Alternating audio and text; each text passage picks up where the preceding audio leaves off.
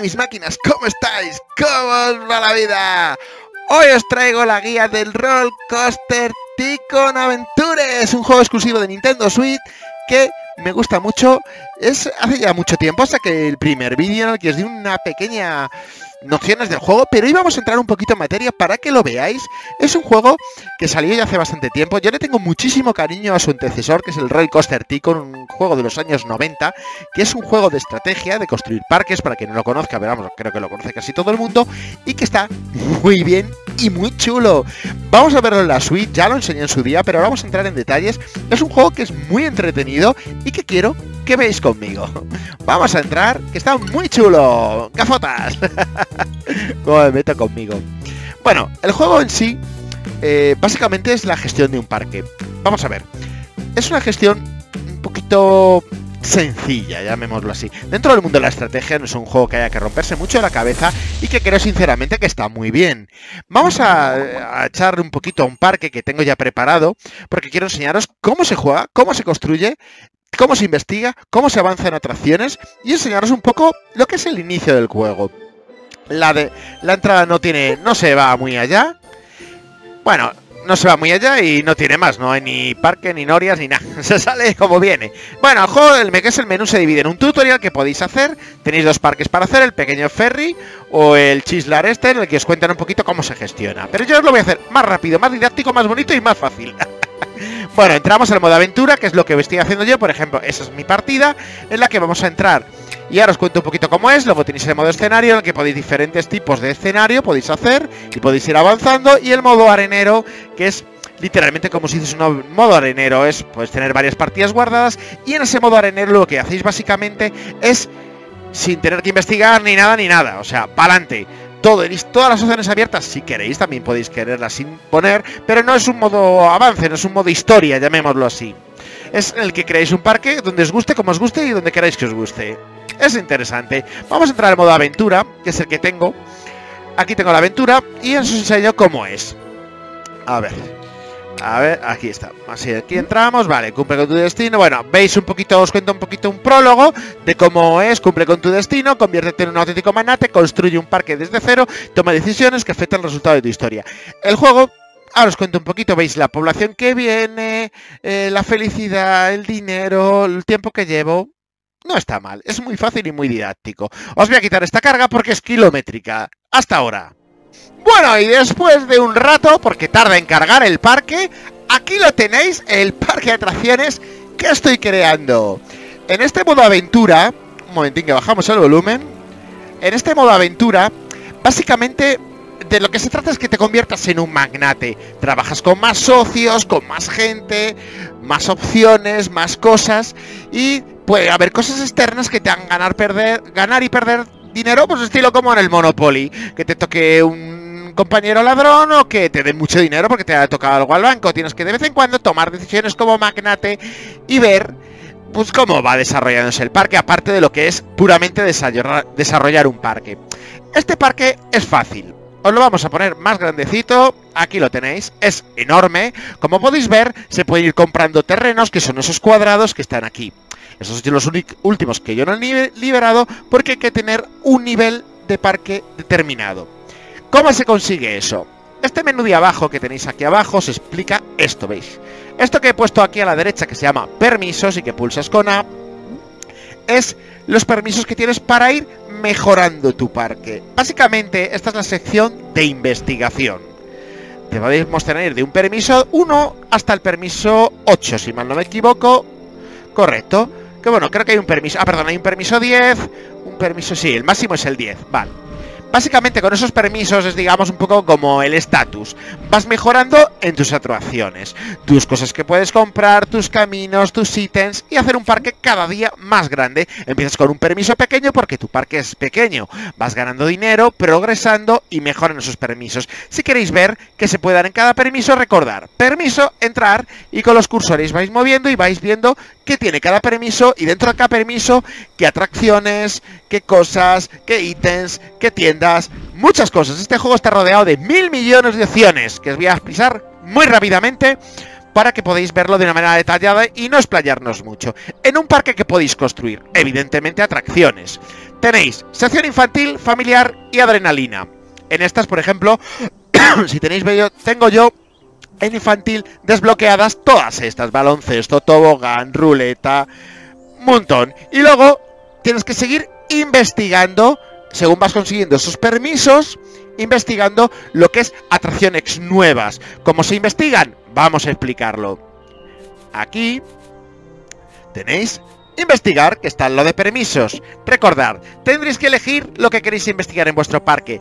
Veis que, por ejemplo, en infantil donde estoy marco, marco señalado está 8 de 11. Tengo 8 investigadas de 11 según vayas ampliando tus permisos, las que, por ejemplo, en el caso del que ponga 11, subirán, porque dentro del permiso 10, por ejemplo, que no tengo, porque voy por el 8, habrá atracciones infantiles mejores. Según ya sabéis, el nivel de tu parque que se consigue con dinero, con atracciones mejores, con mejores decorados, con mejor prestigio, con mejor de todo, todo lo va subiendo.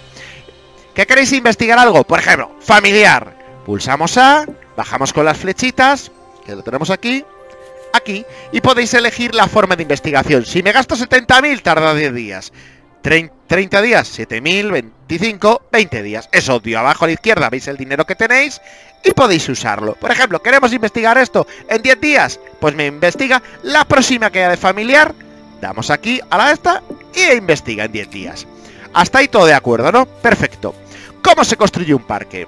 Bueno, perdón, vamos a seguir con estas opciones. Familiar, atracciones de índole familiar más grandes. Eh, más, por ejemplo, ¿qué cosas tengo yo dentro de familia que me gustan a mí? La casa embrujada, me mola mogollón.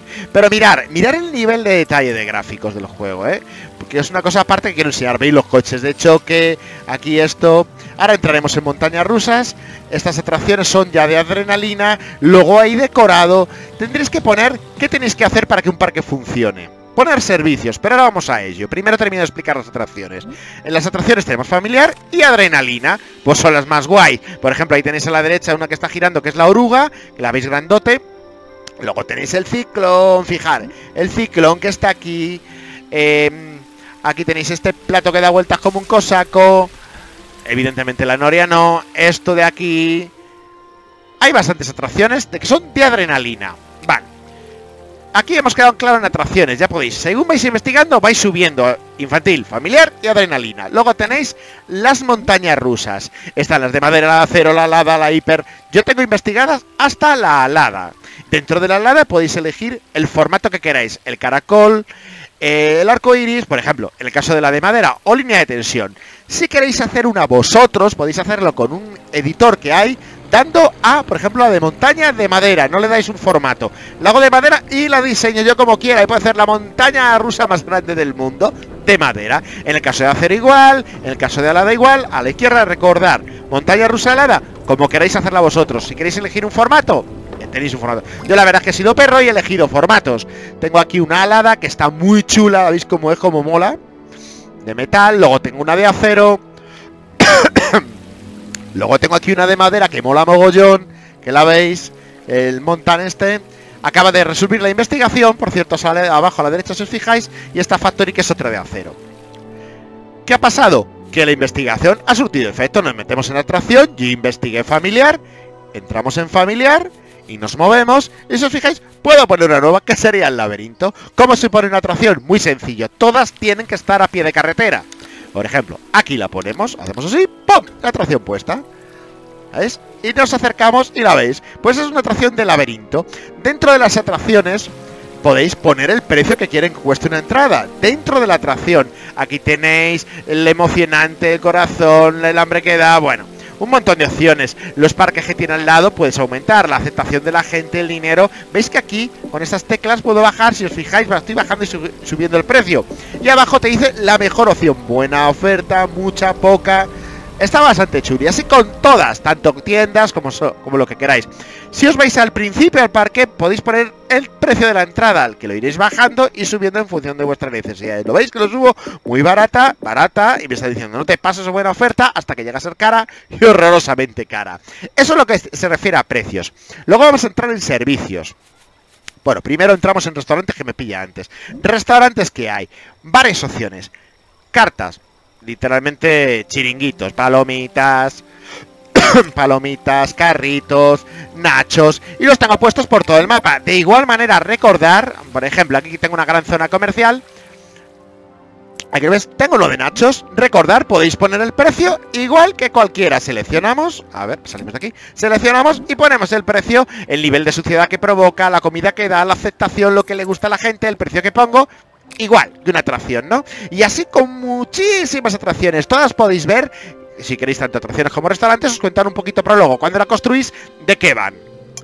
Vale, más cositas. Eso es lo que será restaurantes. Tenéis servicios, que a esto vamos lo primero, antes de empezar animaciones. A ver. Ah, no, perdonad. Os he explicado, sí, vale, restaurantes me he dejado una cosilla que quería comentar. Recordar, hay cosas mejores, hay puestos y bistros. Todavía no he investigado los bistros, que son restaurantes grandotes. O sea, tienes que ir investigando más que nada va acorde a un nivel más alto. Pero recordar, ponéis cartas que son pequeñitos, puestos ya más grandes, puesto de tacos, de noodles, de patatas, de manzana, tengo puesto por ahí que ahora os lo enseñaré. Y luego los vistos, pues es un restaurante directamente. Vale. Ahora. Servicios, lo que iba a entrar. Primero, tiendas tiendas de globos, de peluches, de... Bueno, yo he investigado muchas tiendas porque me gustan mucho las tiendas, ver que hay más que no he investigado y las vas poniendo con el mapa. Las tiendas, exactamente igual que todo. Por ejemplo, aquí hay una, a ver, de una gorra. Vendo gorras, ¿no? Pulsas y podéis poner el precio de la gorra, al estado exactamente igual, la aceptación de la gente, lo que cuesta y el dinero que dan. Luego ahora vamos a entrar como se ve el dinero por atracciones, pero primero vamos a entrar a esto. Más cosas. Servicios. ¿Qué son los servicios? Muy sencillo, tenéis que poner baños. Fijaos, cuando construís un baño, por ejemplo, vamos a construir un baño aquí. ¿Os fijáis ese cuadro azul que hay alrededor? Os dice el cuadro de aceptación donde está este servicio. Por ejemplo, lo ponemos aquí y ya tenemos puesto un baño para que la gente vaya al baño. Si os fijáis abajo a la derecha, pone todos los niveles de aceptación del parque. Si vais a la derecha, veis cómo suben los gente que lo viene a visitar, la aceptación de la gente, el nivel de tiendas que hay, que son los dos globitos, el papel higiénico es el nivel de limpieza, lo tengo un poco bajo, y el de 67, que veis un tenedor y un cuchillo, es la comida. Odio, ya sabéis, llenando el mapa de cosas, de comida y de todo, pues tenéis de todo un poco. vale, seguimos para adelante. Vale, esto lo hemos enseñado, que es las tiendas, servicios, estamos diciendo, atracciones, mantenimiento de atracciones. Igual que ponemos uno de, de baños, pues uno de mantenimiento. Si se te rompe una atracción, tiene que ir un técnico y tiene que estar en la zona. Si no, se rompe la atracción y se, y se rompe para siempre. Seguimos en servicios. A ver. Centros de información. Tienes que de vez en cuando informar a tu gente, oye, ¿cómo va el tema? Ponemos un centro de información, informamos. Más cositas, tenemos aquí servicios y empleados de mantenimiento. Evidentemente, el papel higiénico que me habéis visto que está al 50, puesto para que limpie más. Bueno, aquí he juntado dos muy cerca, si os veis una abajo de la otra, no tiene mucho sentido, pero todo luego de cara a que vosotros podáis ver cómo le podéis construir. Vosotros fijaos las franjas de donde llega uno a otro, intentar ponerlo, que se hagan, apoyen un cuadro con otro los azulitos y que tenga el mismo rango de acción, para que podáis, evidentemente, tener, o no poner tantos servicios juntos que valen dinero. Seguimos para adelante con los servicios y tenemos animaciones, podéis contratar animadores. Por ejemplo, animador de búho, yo no he puesto, aquí tengo una de tiburón, pues vamos a poner uno de búho. Si nos acercamos, veis que por ahí va un animador y es muy gracioso, porque lo que básicamente es un poquito para darle rollo al parque, como cuando vais a un parque de atracciones vosotros y tenéis pues una persona que va animando, el típico peluche, el típico oso, Peppa esas cosas ya sabéis, ¿no? Pues para que podáis, evidentemente, meteros un poco en el rollo de la ambientación, como pasa en el Disneyland París, pues que pondrán muchas cosas de Disney. Por cierto, tiene que estar chulo ese parque de atracciones. Nunca he ido, eh, que lo sepáis. Tiene que ser muy bonito. A ver, en animaciones seguimos, pues ha quedado claro. Una tiburón, una panda, cocodrilo y otras que no tengo, que podrán salir más adelante. En decoración, hay una decoración inmensa, inmensa. Árboles, cedros, plantas, margaritas, mil millones de plantas de diferentes tamaños mil cosas. Banderas, yo tengo puestas banderas, por ejemplo, aquí si vais al principio, pues he puesto aquí banderitas, ahí, las tengo aquí, he puesto la de España, aquí una, una, multicolor, me hicieron mucha gracia y las puse por aquí, y por aquí pues otras poquitas más, diferentes países, está gracioso. Luego más en decoración, vamos a ampliar un poquito para que tengáis un concepto más general del parque, ¿veis esa llave que sale ahí? Es que está rota la atracción en la noria, si os fijáis, y un técnico irá a repararla, es importante que haya un técnico cerca, ¿veis que está reparándola aquí? La repara y a funcionar. Si no, se rompe la atracción y como lo repares pronto, se rompe para siempre. Vamos a seguir. A ver, servicios, ¿no? Hemos dicho decoración, vale, estamos aquí. Tenéis banderas, clásicos, pues multitud de parques, multitud de cosas, todos los que podéis imaginar. No os lo voy a enseñar todos porque hay un sinfín de nois. A mí, por ejemplo, me gusta mucho, me parece muy gracioso uno, bueno, gracioso, bonito. Este que tengo que es el estanque mundial. Mola mogollón, ya sabéis, cuanto más atracciones y más decoración pongáis en vuestro parque, irá mejor todo. Podéis hacer lagos de lava, de cosas, de plantas. Mira, también hay una cosa que me parece muy graciosa que es este bosque, que es un bosque, ¿cómo se llama? Un, bosque marciano ahí, con plantas marcianas, está muy chulo. Una francesa, bueno, muchísimas cosas. Mola este, por ejemplo, este restaurante de patatas, ¿eh? Mola, Norias para niños pequeños. Hay atracciones de niños son muy, muy chulas. Por ejemplo, este que tiene que molar, que es de tirarse así por una... Así que baja todo rápido. Personalmente opino que está muy bien. Por cierto, que se ha roto nada más mirarlo yo. Vale, seguimos en decoración. Tenemos clásico tropical, que todavía no los he liberado. Y tienen que estar chulos. Veo que hay un montón de piedras de calavera, un moai como la isla de Pascua. Muy bien, ciencia, oeste. Ya sabéis, el decorado es inmenso. ¿Qué significa la pala de terraformar? Pues los caminos que ponemos. Yo, por ejemplo, he puesto este que me hace gracia, que es de neón. Luego podéis diferenciarlo, asfalto, decoración, muchas cosas. Gris claro. Suelos, podéis poner diferentes tierras si os gustan. Vallas de colores, puertas, por ejemplo, aquí. Está muy bien. Eso lo invito a que lo decoréis. Agua, ya sabéis, de lagos, de lava. Podéis hacer un lago de lava, que está mazo de chulo. Está bastante bien. Decoración, vegetación, nos podéis imaginar. ¿Veis los bosques alienígena? Que mola mogollón colinas, aquí están las colinas, y luego para borrar, pulsamos borrar, borráis cualquier cosa que os interese. Mapas de calor, ¿qué significa esto? Básicamente es un pequeño estadísticas. No es muy extenso este juego, hay que reconocerlo que está hecho un poco para un, pueblo, o sea, perdón, un grupo de población más infantil, pero personalmente opino, a mí personalmente me gusta, ya me veis aquí, jugando a mí, o sea, no hay ningún problema, porque le tengo un cariño enorme a esta saga. Ingresos, ¿veis? por ejemplo, pulséis en ingresos y veis que da más ingresos. Podéis ver todos los edificios, los de comida, las atracciones, las tiendas y en función de eso calibrar. Una cosa que os recomiendo, de vez en cuando mirar los precios de las atracciones, porque no entiendo por qué se suben de vez en cuando y es porque oscila el mercado. Tienes que estar pendiente de lo que cuesta cada atracción, de cómo os ponen el precio. ¿Veis, por ejemplo, ese naranja? Caro, caro, caro, el verde bien, bien, te están diciendo que unas van mejor, otras peor, pero básicamente es porque se regula solo y a veces se sube el precio. Vigilar el precio y ponerlo de la manera más asequible. Yo recomiendo poner en oferta. Buena oferta, no, no gratis, en buena oferta. Y aquí podéis ver el resto de dinero que dejan las diferentes atracciones. Vale. Eh, carga de visitantes, decoración, está claro, estadísticas para ver las estadísticas. Lo de permisos, ya los he contado. Básicamente es la investigación y ver cómo podéis investigar. Los que están en gris no están investigados y los que tengo el color están investigados y algunos no los he construido porque tienes que construirlos. Pues a construirlos y o sea, primero tener el permiso y luego investigarlos y luego construirlos. Y eso vale dinero. Y luego aquí tenéis pues configuración. Evidentemente podéis poner los diferentes idiomas, el que más os guste. Os voy a enseñar un pequeño vistazo al parque que me gusta mucho. Por ejemplo, me gusta un montón el barco pirata me trae muchos recuerdos verlo. Tengo esta torre de vigilancia, vamos, para ver una vista del parque. Esta noria, por cierto, está la función de noche y día, como podéis estar viendo. Muy chula, puestos de información. He hecho aquí un pedazo de... Ah, por cierto, mira cómo mola este avión. En el que sale aquí el nombre, mira, yo lo sigo, mira. A ver si puedo... A ver si lo puedo seguir aquí. Es como mola poner el roll coaster tico, ¿no? Eh, como mola tiene aviones, tiene globos, está bastante guapo. Luego tenéis esta noria, por ejemplo, este puesto de pasta me hizo mucha gracia, de nachos, este que es un martillo de dar ahí, y está muy bien, un faro en el que vas con barcas, típica atracción tranquila. Hoy aquí hice un pequeño río de lava, que está bastante guapo, uno de agua, mola el arco pirata, mola ahí con el ojo, a mí me encanta el arco pirata. Luego tenemos estas atracciones que aquí las llama, esto es un pulpo de toda la vida, pero aquí lo, no sé, no me acuerdo cómo lo llama, pero tiene nada que ver el nombre, claro, supongo que le dan nombres comerciales, porque esto es un juego, supongo que será norteamericano, y bueno, tenéis un circo, podéis cambiar, por cierto, el color de las atracciones, el cambio del circo, se pueden cambiar, si tú pinchas una atracción como es el circo, te metes aquí, si os fijáis, color, y le puedes poner el color que quieras al circo, ¿ves? El que queráis. Está, está gracioso. Podéis tocar las atracciones, podéis girarlas, si te vas, por ejemplo, aquí, si te fijas, con los, con los controles las giras, bueno, perdón, aquí estoy cambiando entre atracciones, pero se pueden cambiar de sí. Tú la pulsas la mueves y con la L aquí... No, aquí no era. Eso cambias entre atracciones, vale. Sería para moverla. La mueves y ahora se puede girar. ¿Veis cómo la giro? Cuando la pinchas. Está bien, es curioso. A nivel anecdótico y de control para que lo veáis. Luego la gente está muy bien, podéis ver lo que piensa la gente. De vez en cuando sale un bocadillo, la gente ahí en la cabeza. Y es que tú le puedes pinchar, si pulsas la Y, te dice justo lo que está diciendo ese tío. Mola, aquí veis gente fashion, aquí con trajes, música todo el rato, ¿veis? De los coches de choque, ¿eh?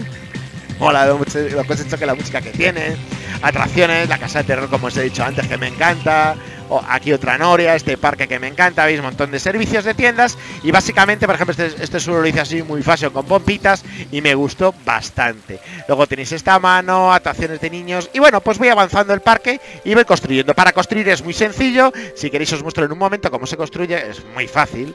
O sea, hacer, pues que es, vamos, por ejemplo, un sendero, queremos poner uno de neón, ahí os pone lo que pone, es literalmente pinchar y arrastrar. Y cuando queréis volver a que se construya, pues ya está. No tiene más. Si os fijáis abajo es leer controles, leer cosas y queda todo bastante claro.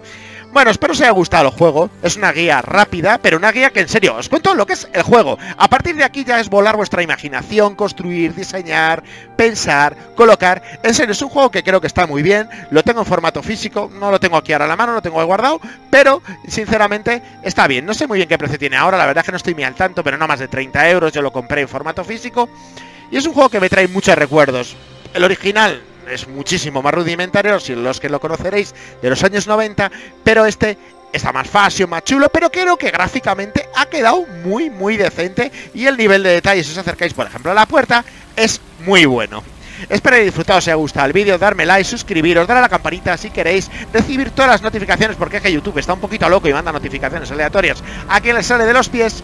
Y espero haber disfrutado con este vídeo y seguiremos aquí en la guerra de sacar montones de... Bueno, guerra, es definir hazaña de sacar montones de juegos de estrategia en la suite, que no es lo normal. Yo normalmente veo otro tipo de youtubers sacando otras cosas, pero a mí ya sabéis que no solo en esta consola, en Xbox, me encanta sacar todo tipo de cosas. No dudéis en pedirme contenido, juegos de estrategia. Estoy tramando nuevos juegos, Age of Empires, que creo que va a salir en Xbox. Bueno, un montón de juegos que he adquirido, que tengo nuevos, que ya os empezaré a seguir. Seguirme en redes sociales, Twitter, Instagram, Facebook. Morinius os va a mostrar montones de cosas porque ahí voy diciendo un poquito, dando pistas de lo que voy a sacar en el futuro y que creo que os va a gustar bastante. Ya sabéis, no, no dejéis de estar ahí porque os traigo muchas sorpresas, muchos juegos, mucha estrategia. Intento contarlo de la manera más práctica y más fácil. Y ya sabéis, voy a todo trapo y actuando. Hasta luego, mi máquina.